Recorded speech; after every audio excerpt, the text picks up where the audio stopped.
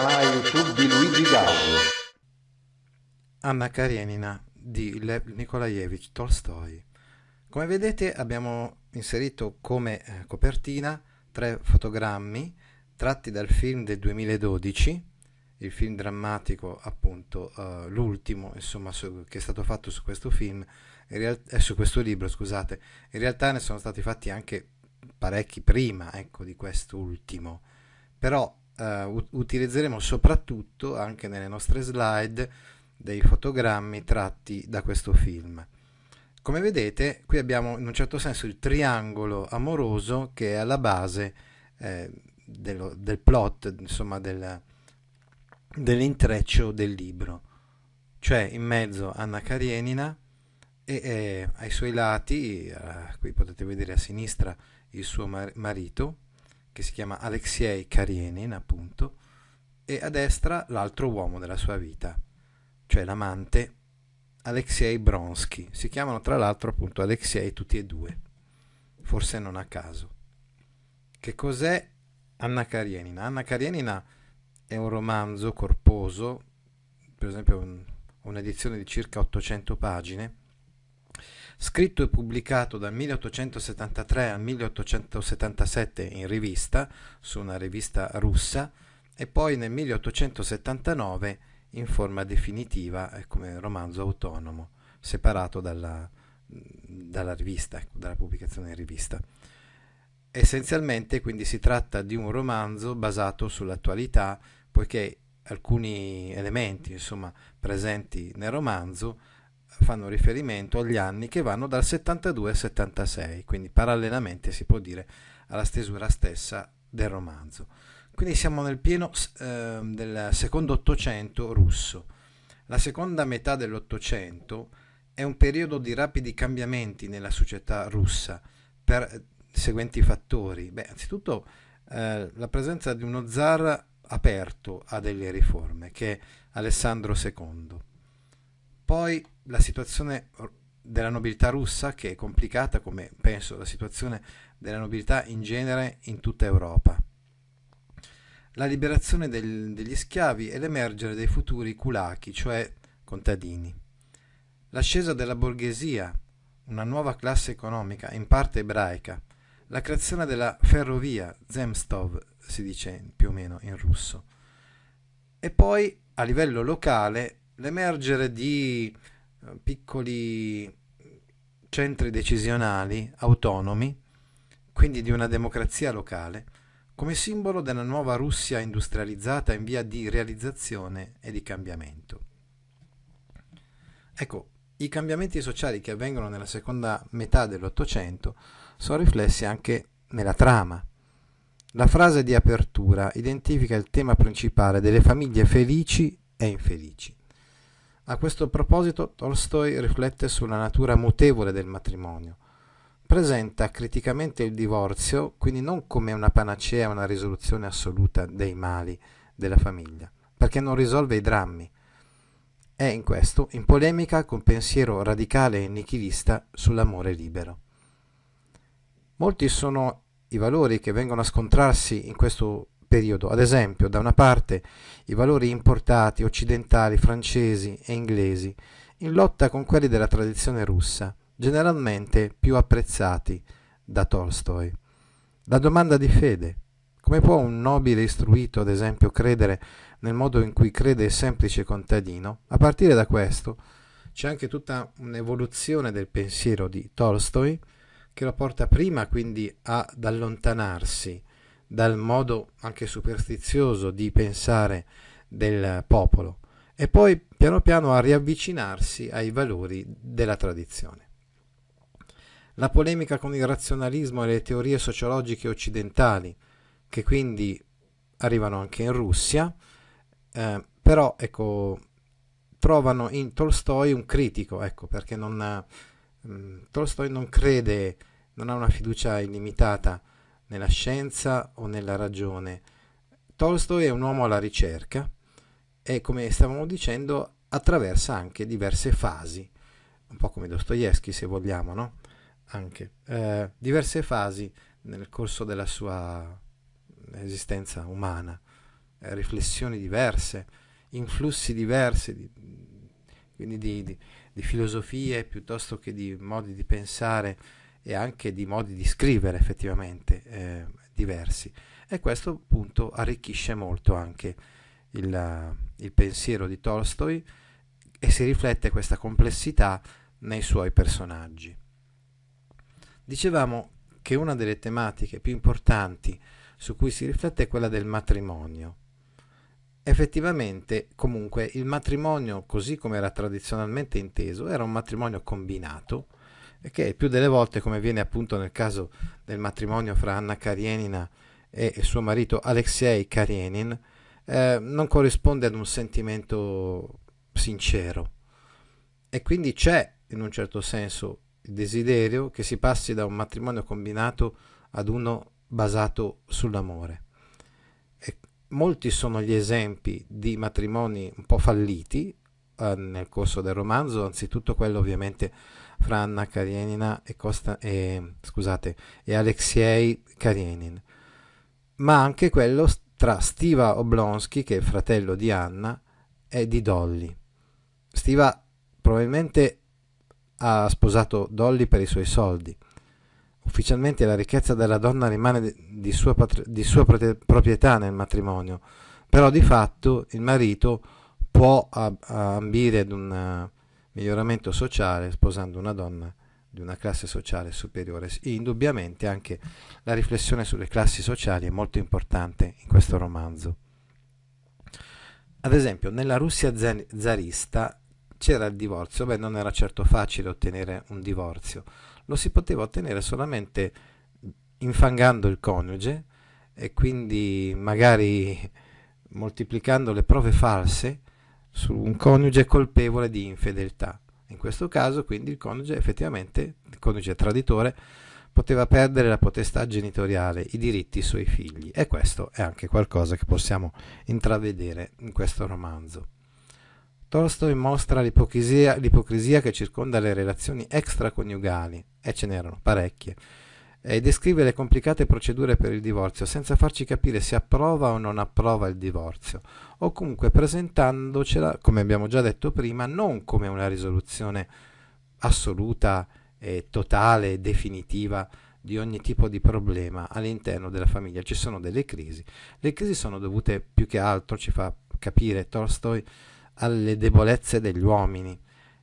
E la cosa che veramente lo, lo disgusta è il modo con cui queste relazioni extraconiugali vengono trattate o nascoste. Quasi quasi ci fa capire da questo romanzo preferisce chi ha il coraggio di venire allo scoperto. Ecco, ci sono molte coppie nel testo, potremmo osservare questo testo, questo romanzo, anche come un girotondo, se vogliamo, di coppie che illustrano le varietà delle relazioni possibili. Ad esempio, prima abbiamo visto, abbiamo parlato di tante criticità all'interno del matrimonio, ma non è sempre così. Eh? Una di queste coppie invece sarà una coppia essenzialmente, sostanzialmente felice. La trama si muove avanti e dietro da una coppia all'altra. Alcune affinità vengono rilevate tra individui al di fuori delle coppie. Ad esempio, c'è un'affinità tra Vronsky e Kitty, tra Levin e Anna, quindi eh, una certa, so, penso, eh, giovialità e passionalità in Vronsky e Kitty e una certa coerenza morale e anche immedesimazione dell'autore stesso nei personaggi di Levin, Konstantin Levin e di Anna. Il vero cuore del romanzo sta nei personaggi appunto più sentiti dall'autore, che sono, come abbiamo, vi abbiamo già detto, Anna Karenina, Konstantin Levin e Dolly, quella donna, quella moglie, insomma, tradita dal marito Stiva. Ecco, gli adulteri, anzitutto, sono Vronsky e Anna, che rappresentano il cuore drammatico del romanzo. Sono visti intimamente fino alle loro emozioni e ai loro sogni, ma alla fine giudicati dall'esterno, dal punto di vista di Levin, Konstantin Levin, che è quasi un alter ego di Tolstoi e quindi eh, giustifica alcuni aspetti di questo adulterio, ma non tutti. Anna è sposata con Alexei Karenin, di circa 20 anni più grande di lei. Anche Vronsky, però, l'abbiamo già sottolineato prima, si chiama Alexei di nome, quindi gli uomini di Anna si chiamano comunque nello stesso nome. Ecco, un'altra coppia di cui abbiamo già parlato è la coppia tra Stiva Oblonsky e Dolly. Stiva è fratello di Anna. Entrambi sono stati allevati da una zia. Stiva è un, gande- è un gaudente, viveur. Il romanzo inizia proprio con la notizia della sua relazione extraconiugale. Dolly è la sorella maggiore di Kitty Sherbasky. Insieme a Levin, Dolly funge da fulcro morale del romanzo ed è madre devota dei suoi figli, costretta a, a perdonare tra le lacrime il marito che continuamente lo, uh, la tradisce perché è di costumi leggeri. L'altra coppia importante è quella di Konstantin Levi, Levin e di Kitty Sherbansky. La prima proposta di Levin uh, a Kitty è respinta a causa di un uh, primo approccio, diciamo, uh, sentimentale, molto blando comunque, tra Vronsky e Kitty. Il rituale della seconda proposta, quando ormai le attenzioni di Vronsky sono tutte indirizzate ad Anna e quindi non c'è più di mezzo quals- qualsiasi tipo di distrazione. Ecco. Il rituale della seconda proposta e il matrimonio sono tratti dalla vita di Tolstoi, quindi ci sono elementi autobiografici, l'abbiamo detto, soprattutto eh, quelli che ruotano intorno al personaggio di Konstantin Levin che è il personaggio di- decisamente più autobiografico del, del romanzo. È appreso a piene mani dalla sua stessa esperienza Tolstoi nel raccontare la storia della coppia appunto Konstantin Levin e Kitty Sherbatsky. Kitty è una versione junior di sua sorella Dolly, perché anch'essa dedita ai valori della famiglia. Quindi Kitty, che pure all'inizio si presenta come una ragazzina molto divertita, in realtà poi con l'andare del tempo mostra i suoi valori e quindi anche diciamo così il suo attaccamento alla famiglia. Poi ci sono altri personaggi minori e coppie minori, come quella tra Nikolai Levin, che è fratello di Konstantin Levin, e di sua moglie Maria Nikolaevna, detta anche Masha, oppure di Sergei Ivanovich Kosnishev, scusate, fratellastro di Levin, con Varenka. Ancora, Alexei Karenin e la contessa Lidia Ivanovna. In realtà è una coppia nel senso che eh, la contessa Lidia Ivanovna diventa sua confidente dopo la crisi del suo matrimonio e continua sempre di più a indurre Alexei Karenin ad essere inflessibile, rigido nei confronti di, di Anna, del suo tradimento, del suo adulterio. Il vero dramma di Anna Karenina qual è? È una donna con un forte desiderio sessuale che è in conflitto con la sua visione puritana del sesso. Il libro può essere visto come un tentativo di venire a patti con questa contraddizione, venire a patti con la coscienza, nel senso che più e più volte Anna prova, cerca di frenare i suoi istinti nel momento in cui vede eh, vede uh, Vronsky, balla con lui, essenzialmente se ne innamora, ma cerca in un primo tempo di restare fedele al marito. Poi l'atteggiamento stesso del marito, che è abbastanza disgustoso perché lui è interessato più comunque all'apparenza che non alla sostanza dell'amore, piano piano la conduce ad allontanarsi decisamente dal marito e a buttarsi a capofitto in questa relazione extraconiugale, ma la sua coscienza comunque non è e non sarà mai a posto fino alla fine del romanzo. Ecco, dicevamo che il romanzo incomincia proprio con questa frase. Tutte le famiglie felici sono uguali, ogni famiglia infelice è infelice a modo suo. È una frase, dicevamo, abbastanza significativa e programmatica perché poi nel corso del romanzo si può vedere come no, le varie famiglie infelici siano infelici a modo loro, per un motivo piuttosto che per un altro. Ancora altre citazioni. Tutte le ragazze del mondo erano divise in due classi. Una classe includeva tutte le ragazze del mondo tranne lei e avevano tutti i soliti sentimenti umani ed erano ragazze molto ordinarie, mentre l'altra classe da sola non aveva punti deboli ed era superiore a tutta l'umanità. Ecco la singolarità, l'originalità di Anna Karenina, uno spirito forte, diciamo, uno spirito tormentato comunque, diverso sicuramente dal comune.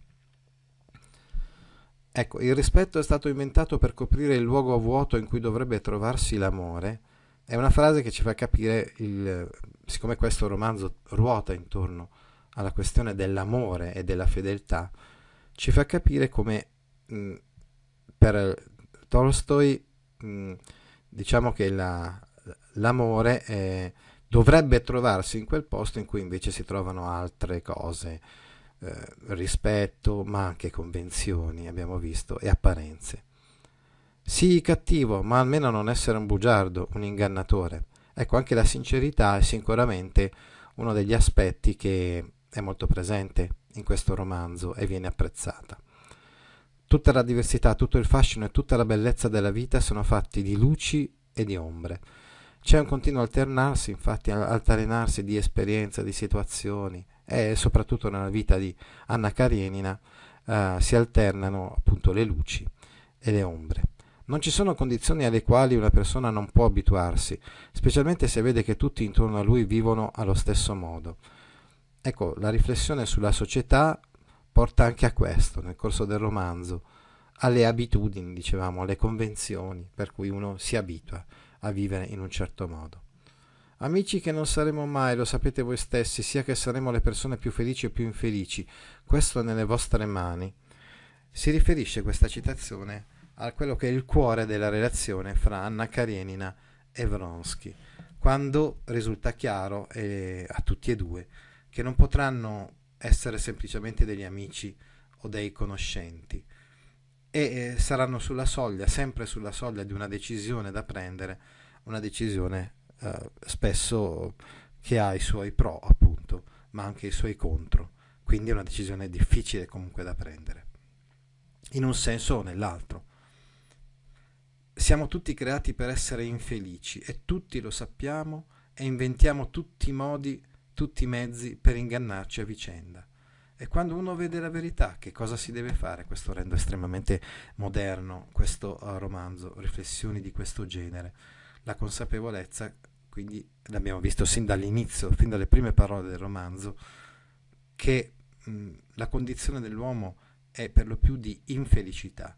E allora a questo punto cerchiamo solamente di ingannarci per illuderci di poter mh, superare o vincere questa, questa nostra condizione ontologica. Poi però ci rendiamo conto che non è possibile. E allora cosa succede? Ecco, eh, di fronte a questo ci sono varie strade, una di queste è la disperazione. La mia vita ora, tutta la mia vita, indipendentemente da tutto ciò che può accadermi ogni minuto, non solo non è priva di significato come era prima, ma il significato indiscutibile del bene che è in mio potere metterci dentro. L'illusione di Anna è quella, a, a un certo punto, di poter dare finalmente un senso alla sua vita. Questo rapporto d'amore dovrebbe riempire la vita. Forse, questa è, forse, forse questo è stato l'errore maggiore di Anna, quello di aver creduto di poter eh, fare a meno di tutto il resto e e di poter riempire tutta quanta la sua vita, dare un senso alla sua vita solo ed esclusivamente con questo rapporto amoroso.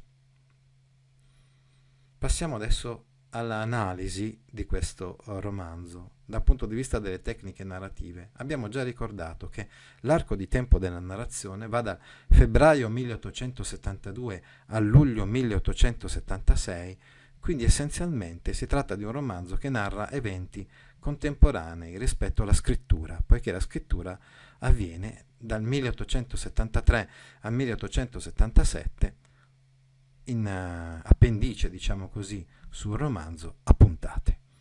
Piani temporali sfalsati. La narrazione delle vicende delle coppie non è sempre perfettamente lineare dal punto di vista temporale. A un certo punto la storia del rapporto tra Vronsky e Anna è più di un anno avanti rispetto a quella fra Levin e Kitty e poi occorre riallineare i tempi eh, spiegando al lettore che cosa è successo a Levin e Kitty eh, nel frattempo mentre la storia di Vronsky e Anna era andata avanti. Gli spazi simbolici sono presenti in questo libro essenzialmente questi spazi. Mosca, percepita come il buon cuore patriarcale dei valori russi tradizionali, il cuore dell'antica Russia, quindi un qualcosa al quale Tolstoi si sente eh, senz'altro legato. Al contrario, San Pietroburgo è il centro di una fredda burocrazia con valori importati e stranieri. Quando pensiamo alla fredda burocrazia ci deve venire in mente immediatamente il marito di Anna Karenina, che antepone appunto i suoi impegni eh, di lavoro a qualsiasi sentimento, a qualsiasi rapporto inter, uh, intrafamiliare. E poi dicevamo i valori importati e stranieri, perché San Pietroburgo è sicuramente una città più aperta a questi influssi e quindi, secondo Tolstoi, anche più debole per questo. Sono presenti nel romanzo anche altre ambientazioni come la campagna russa, soprattutto relativamente alla vicenda di Konstantin Levin. E l'Europa occidentale, Solden in Germania e l'Italia, che sono mete di viaggi di Anna e di Vronsky, parentesi di felicità all'interno di una vita e di un'esistenza che poi però sarà irrimediabilmente segnata in negativo da questo rapporto quindi sono le ultime illusioni, perché poi proprio eh, dopo questi viaggi le cose volgeranno al peggio. Anna Karenina è la tragedia di una donna aristocratica, sposata con Konstantin Karenin, che ha una relazione con il ricco conte Vronsky. La storia inizia quando compare una famiglia divisa, che non è quella appunto di Anna e di Konstantin Karenin, ma è quella di Dolly e di, uh, e di suo marito. Uh, infatti si tratta del fratello di Anna Karenina, Stiva, ecco, chiamato così affettuosamente da Anna, che ha un rapporto uh, con una cameriera, ecco, e quindi tradisce la moglie.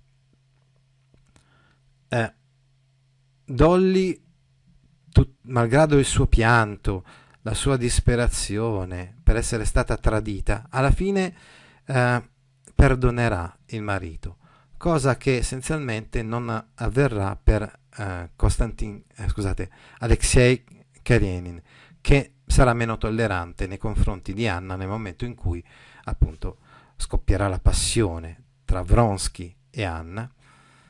Vronsky è scapolo, non ha moglie, è ansioso di sposare una donna, e dopo tutta una serie di forse avventure, magari anche eh, sguardi incrociati con la stessa Kitty, eh, e quindi donne libere, alla fine si innamora di una donna sposata, appunto di Anna.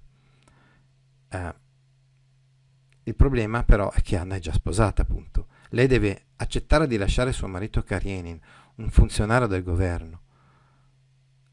Anna in un primo tempo essenzialmente dice di no a Vronsky, ma nello stesso tempo eh, l'innamoramento per lui è talmente forte che eh, alla fine eh, è vulnerabile alle pressioni sia della morale, delle convenzioni, delle sue stesse insicurezze e dell'indecisione di Karenin, ma poi diciamo che mh, mm, si lascia andare totalmente a questa passione perché intuisce che in questo rapporto può esserci un barlume di felicità, Vronsky e Anna vanno a fare dei viaggi, abbiamo già detto in Germania in Italia, dove possono stare insieme, però già in questi viaggi si intuisce che eh, questa felicità è effimera.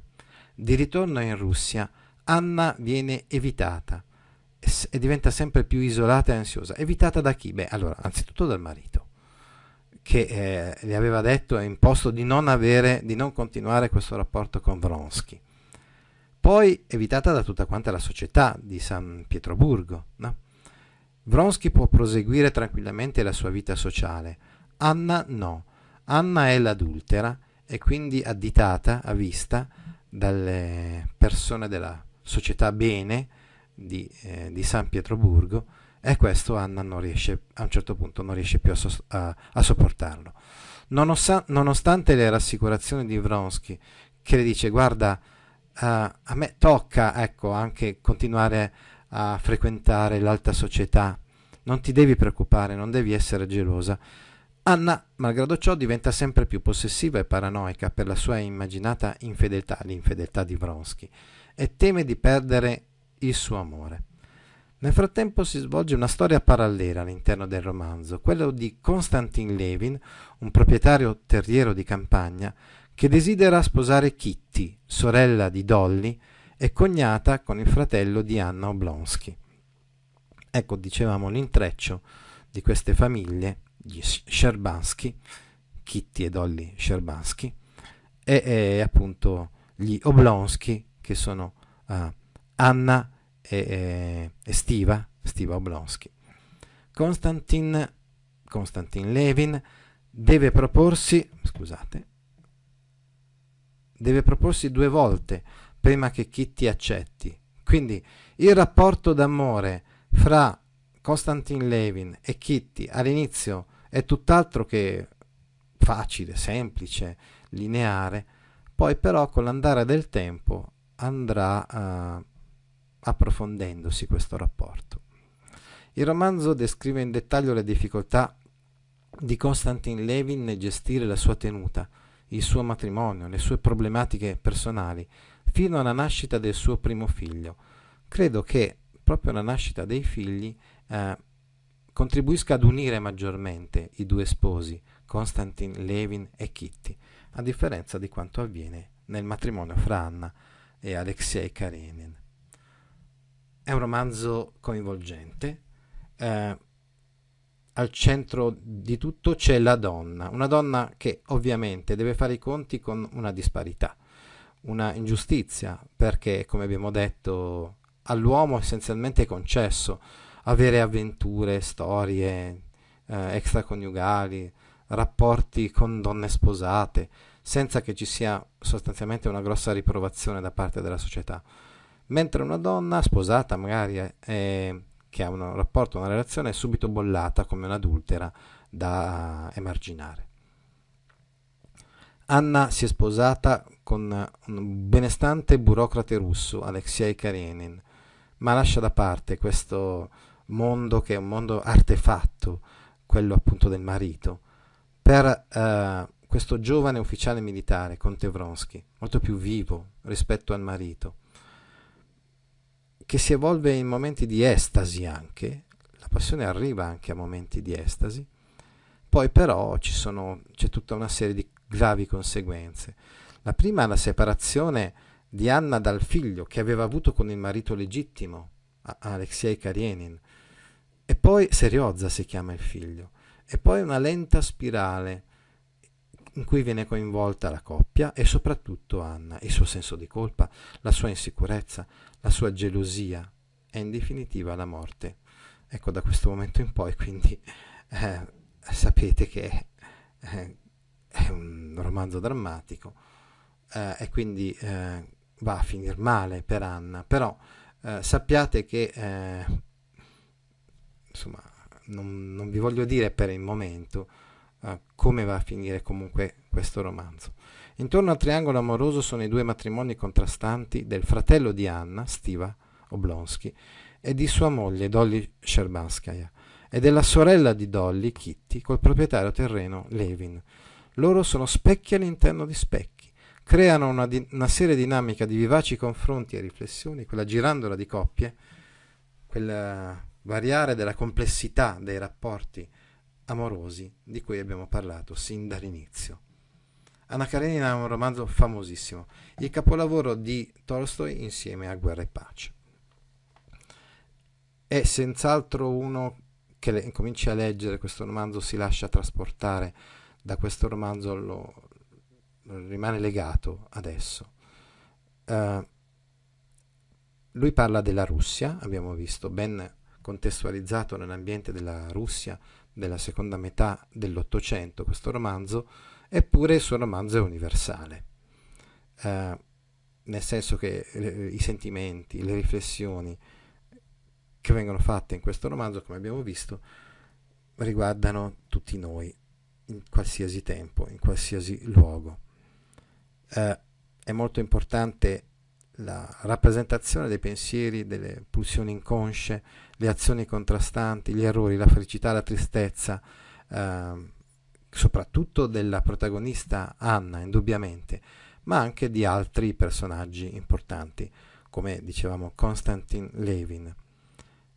E qui abbiamo ovviamente da una parte, dicevamo, un grande romanzo d'amore, senz'altro, ma anche un grande romanzo drammatico e tragico. Ecco, Tolstoi si inserisce all'interno di un filone che è quello del realismo, per cui l'opera d'arte non è semplicemente un'opera di invenzione, ma è davvero un pezzo di vita, tranche de vie, si diceva, e lo dicevano in quel periodo soprattutto i naturalisti francesi. In realtà abbiamo già spiegato come Tolstoi sia un realista diverso rispetto ai naturalisti francesi, se non altro perché i presupposti ideologici e filosofici di Tolstoi sono leggermente diversi rispetto a quelli dei naturalisti francesi. Comunque lui effettivamente quello che ha messo per iscritto è ciò che ha visto in prima persona nella società eh, del suo tempo o che ha vissuto addirittura in prima persona nel caso di Konstantin Levin. L'autore ha visto accadere tutto ciò, l'ha visto, quindi lo mette per iscritto in relazione. E quindi il suo romanzo forse perde di invenzione, ma guadagna nella realtà, nel senso che le cose che lui sta scrivendo in questo romanzo sono realmente accadute nella società del suo tempo. Ecco, uno dei protagonisti è il freddo, rigido marito di Anna Karenina, Alexei Alexandrovich Karenin, un ministro di alto rango del governo, uno degli uomini più importanti di San Pietroburgo. Più e più volte infatti il marito dice ad Anna che non riesce a capire quali sono le sue responsabilità e non riesce a giustificare il fatto che lui invece deve eh, rispondere a queste responsabilità eh, e quindi mette da parte, dicevamo, anche i sentimenti. Karenin è un ipocrita, ligio al dovere, intimidito dalle convenzioni sociali, dalle apparenze soprattutto. Si sforza di presentarsi come un impeccabile uomo colto e capace, ma c'è qualcosa di vuoto in quasi tutto ciò che Karenin fa nel romanzo. Legge poesie, ma non ha sentimenti poetici. Legge di storia, di politica, ma sembra straordinariamente ristretto e chiuso di vedute. Non può essere accusato di essere un cattivo marito o un padre, ma mostra poca tenerezza nei confronti di sua moglie Anna o di suo figlio. La cosa che a lui interessa infatti è questa, di eh, seguire, eh, essere coerente con le convenzioni, con le apparenze. E quindi effettivamente da un punto di vista esteriore è un buon marito nel senso che non ha relazioni extraconiugali come invece ce le ha Stiva, eh, però ecco di fatto manca il cuore diciamo così del sentimento nei confronti sia di sua moglie Anna sia di suo figlio Seriozza. Intesse superficiali i rapporti familiari, è più interessato alla reputazione sociale lo scopo principale della vita di Karienin sta nella sua carriera.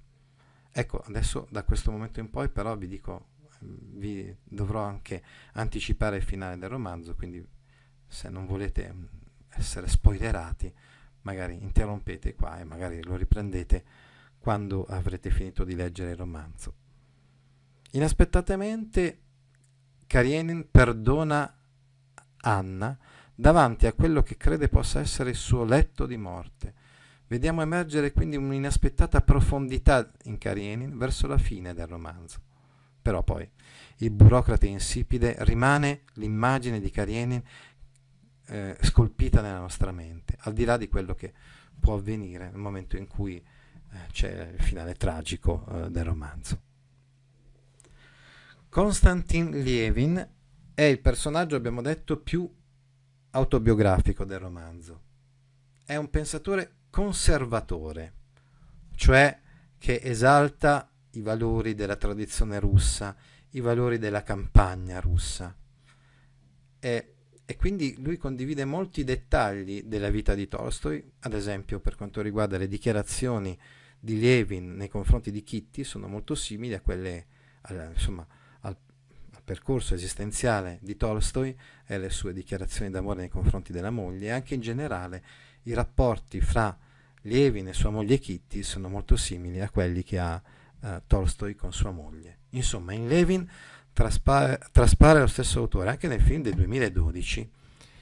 L'attore che ha impersonato Konstantin Levin ha dei tratti, diciamo, molto simili a quella che è l'iconografia di, di Tolstoi. Levin è un proprietario terriero so, mh, appartenente ad una mh, classe sociale medio-bassa, ma generoso. Insieme ad Anna è il coprotagonista del romanzo. Mentre la ricerca dell'amore da parte di Anna termina in una tragedia, il lungo corteggiamento di Levin nei confronti di, di Kitty Sherbaskaya alla fine si conclude con un felice matrimonio. Levin è un intellettuale, è un filosofo, ma applica il suo pensiero a questioni pratiche, come l'agricoltura.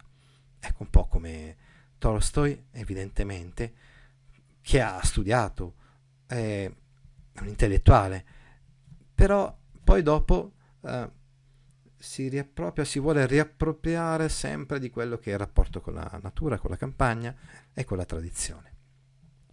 Desidera essere sincero e produttivo in qualunque cosa faccia, si dimette dal suo incarico nel governo locale perché lo considera inutile e burocratico.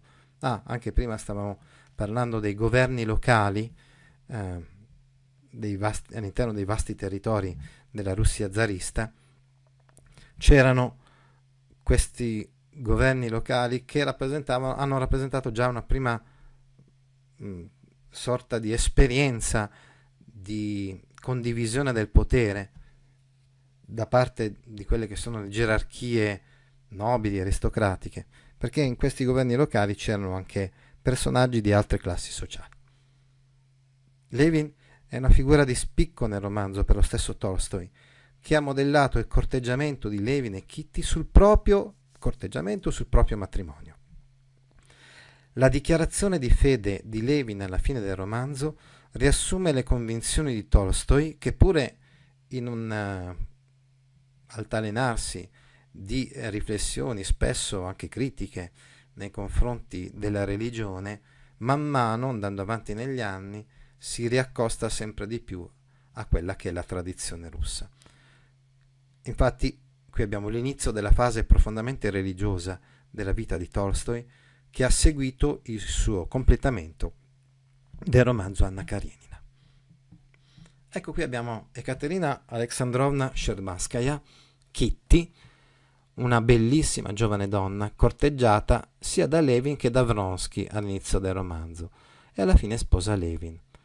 Modellata sulla moglie reale di Tolstoi, Kitty è sensibile, forse un po' iperprotettiva, scioccata da alcune delle rozze realtà della vita come vediamo nella sua reazione inorridita ai diari privati di Levin.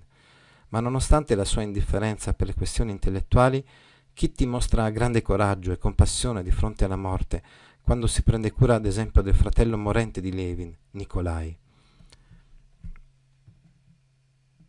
Ecco, adesso andiamo verso la fine del nostro contributo a riflettere sulla relazione tra Vronsky e Anna Karenina. Chi è Vronsky? È un ricco e accattivante ufficiale militare, appassionato e premuroso nei confronti di Anna, ma chiaramente deluso quando la loro relazione privata lo costringe a rinunciare ai suoi sogni di avanzamento di carriera. Il suo sogno sarebbe quello di sposare Anna, ma quando vede che poi le cose non vanno esattamente come, come lui vorrebbe, rimane un po' anche lui un po' spaesato.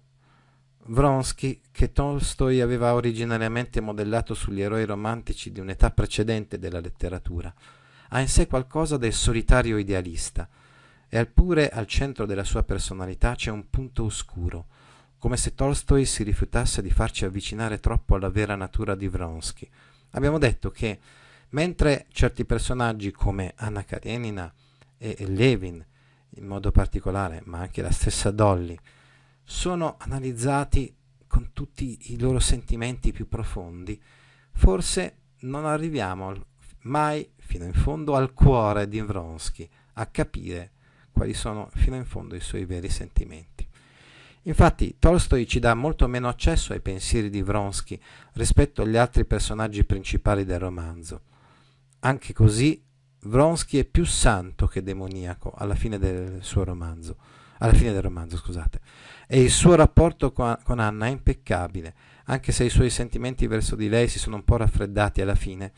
Lui effettivamente le è rimasto fedele comunque. Eh. E solamente si sono creati fra di loro degli screzi, ma non perché ci fosse davvero uh, un rapporto con un'altra donna, e quindi la gelosia di Anna era ingiustificata. Stepan Arkadich Oblonsky, detto Steve, Stiva così affettuosamente dalla sorella, è appunto il fratello di Anna Karenina, un aristocratico amante del piacere, un funzionario governativo minore, la cui relazione con la governante dei suoi figli quasi distrugge il suo matrimonio con Dolly. Stiva e Anna condividono la comune tendenza ad anteporre la realizzazione personale sui doveri sociali. Stiva però è incorreggibile, mentre Anna ha una coscienza e quindi fino a, fino a un certo punto ecco, non si lascia andare. Eh, Stiva invece procede eh, eh, nelle sue relazioni extraconiugali, nelle sue avventure. Eh. Mm. Poi Dolly, comunque la moglie, lo perdona malgrado tutto. Per Tolstoi la lassità morale di Stiva simboleggia le corruzioni della vita di una grande città come San Pietroburgo e contrasta con la potente coscienza morale di Levin, che pure è il suo più grande amico. Tuttavia, nonostante le sue trasgressioni, l'affabile Stiva è un personaggio simpatico e difficile da disprezzare per le sue battute, perché dona anche pagine di leggerezza a questo romanzo drammatico. Adesso arriviamo, dicevamo, ad Anna Karenina e a quello che è anche la fine del romanzo. Eh, Anna, una bella donna sposata di San Pietroburgo, la cui ricerca dell'amore e dell'onestà emotiva la rende diversa rispetto alla superficiale società del suo tempo. L'adulterio di Anna la catapulta nell'esilio sociale, nella miseria e infine nel suicidio. Ecco quindi la cosa che prima non volevo raccontarvi e adesso ve la devo per forza raccontare il fatto che Anna si toglie la vita. All'inizio del romanzo, infatti, Anna ha visto una scena orrenda, orribile, cioè di un, un, di un operaio delle ferrovie che viene travolto dal treno. Rimane molto scioccata da questa scena e prova per questo ricordo di questa morte orrenda un qualcosa di indescrivibile, quindi tanto orrore sicuramente, ma forse anche quasi un fascino, che la porta poi effettivamente a togliersi la vita, esattamente come era accaduta a quel poveraccio, cioè gettandosi tra le rotaie di un treno in corsa. Anna è una persona meravigliosa in tutti i sensi, intelligente e colta, legge voracemente, scrive libri per bambini, mostra un'innata capacità di apprezzare l'arte, quindi è l'esatto opposto del marito, che in realtà non è per niente eh, colto, intelligente sensibile, manca totalmente di sensibilità il marito, Alexei Kalinin, al contrario della moglie. Fisicamente affascinante, ma con gusto, riservata, cattura le attenzioni praticamente di tutti nell'alta società.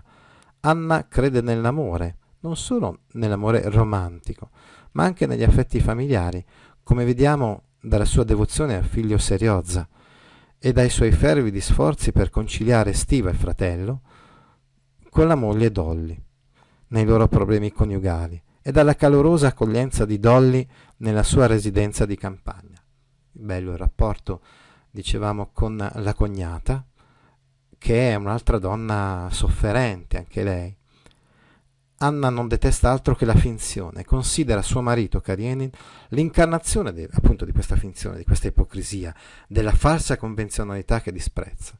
E questo provoca alla fine la sua morte, perché non si accorge di non poter continuare a vivere to- a- a- accanto ad un uomo così gretto e meschino. Fa le sue scelte, ma queste scelte la porteranno eh, inevitabilmente alla morte. La morte, la morte di Anna, il suicidio, come l'amore è una forza pervasiva in tutte le principali opere di Tolstoi, ma ha un potere speciale in Anna Karenina, dove la morte della nostra eroina avviene in circostanze tragiche in un punto critico del romanzo. Abbiamo già superato la malattia prolungata e la morte dell'amato fratello di Levin, Nikolai. Siamo stati anche al corrente del declino della relazione di Anna e di Vronsky, ma nulla ci prepara completamente alla svolta radicale e dolorosa degli eventi che chiude appunto questa sezione finale anche del romanzo. Nel corso della parte numero 7 del romanzo arriviamo a renderci conto che Anna è troppo fragile, le sue paure troppo grandi, lo stress su di lei da mesi di incertezza troppo faticoso. Eppure, per molti di noi, il fatto che lei si butti davvero sotto il treno sembra impossibile da capire. Avremmo, com- come lettori, tutti i motivi per aspettarci una fine tragica, ma comunque il fatto che arrivi questa fine ci coglie impreparati. È interessante notare che Tolstoi sceglie di inquadrare l'ultimo momento di Anna come fosse una finzione, e la candela, alla luce della quale aveva letto quel libro pieno di ansie, inganni, dolore e malvagità, diva un po' più luminosa che mai. Il suo libro è pieno solo delle cose più oscure e preoccupanti della sua vita. La candela con cui la legge, con cui legge la sua vita, legge il suo libro, brucia più luminosa di quanto abbia mai fatto e poi si spegne. È una specie di metafora di quello che sta per accadere. In questo modo Tolstoi ci sta ricordando che Anna è lei stessa una finzione, però ecco, questa riflessione su Anna che legge un libro ha anche una funzione straniante, se vogliamo, cioè ci fa rendere conto, come lettori, che anche la sua storia è comunque una finzione letteraria. Più di questo sta dicendo che ogni vita, non importa di chi, è un libro che può essere letto come il suo lettore sceglie. Gran parte della vita quotidiana di Anna, la rottura delle sue relazioni e la sua risolutezza e la sua scelta di fronte alla perdita di tutto sono il risultato diretto del modo in cui sceglie di leggere la sua storia. Anche alla sua morte, Tolstoi non ci farà dimenticare questo. E concludiamo quindi questo nostro contributo con questa riflessione sulla morte, che è una riflessione anche sulla letteratura.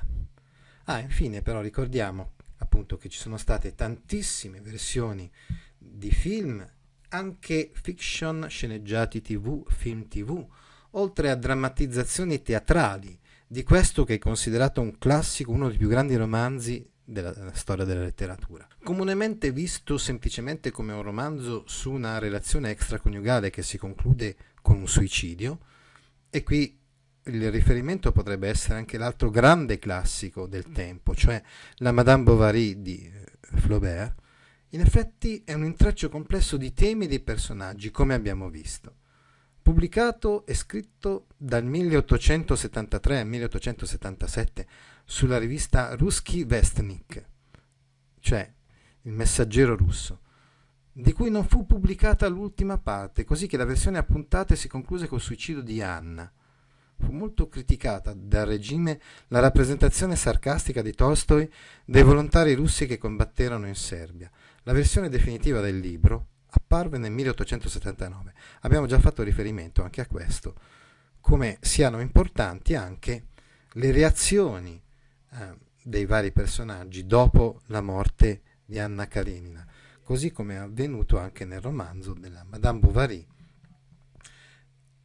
con le reazioni alla morte eh, della moglie eh, suicida da parte eh, dei mariti.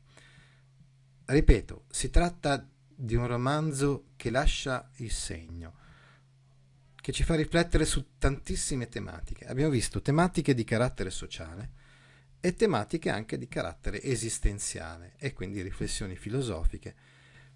Sicuramente è questo il motivo per cui un romanzo di questo genere è rimasto nella storia della letteratura come un grandissimo romanzo. E con questo vi saluto e vi rimando al mio prossimo contributo video di carattere didattico. Altri video didattici su attuttascuola.it